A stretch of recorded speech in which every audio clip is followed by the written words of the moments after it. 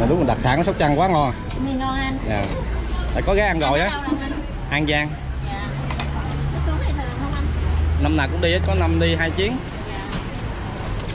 Ăn ngon lần rồi mới ghé nữa nè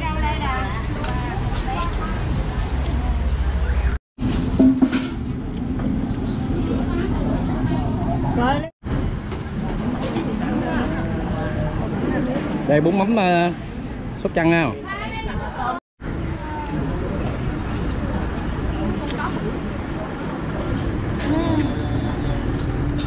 quán đẩy tài xế rồi. đây Bố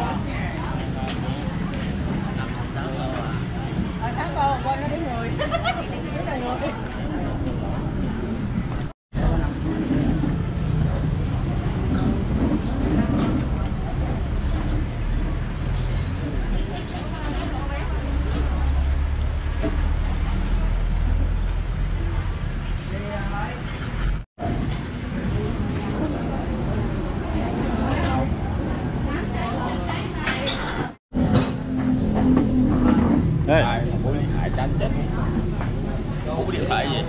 đằng đằng đằng đằng ngoài ăn ngon quá trời là không quay tiền Dạ cái gì đó hả?